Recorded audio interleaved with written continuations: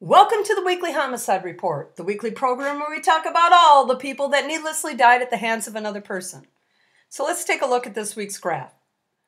Chicago recorded six homicides in the first four days of 2023 and continues its lead among this group. In the same span last year, they had already had 11. So, at least so far, the Safety Act hasn't made things worse. And Louisville, Kentucky also had six this year already, so Chicago's doing okay. Philly had four homicides so far, three less than what they had in both 2022 and 2021 at this time. Baltimore recorded two homicides. Both were of boys under the age of 17. Washington, D.C. also had two murders. At this time last year, they had three. So things are starting out pretty good there.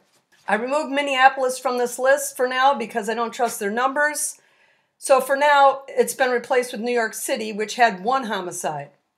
And Milwaukee isn't showing any homicides yet this year. Last year at this time, they had two. So overall, 2023 is starting out pretty good. There were 10 mass shootings. I covered a couple of them. One of which, in Cedar City, Utah, was a mass murder with eight victims that died. All the usual suspects had them Baltimore, D.C., New Orleans, and Chicago. There were 10 mass shootings at this point in 2022 as well. Seven children under the age of 11 and 18 between 12 and 17 were shot and killed. The number for the teens is pretty normal, but the seven for the younger kids is really high. And that was due in large part to the mass murder in Utah. There were 12 defensive use of a firearm incidents, which at this point last year there were 15.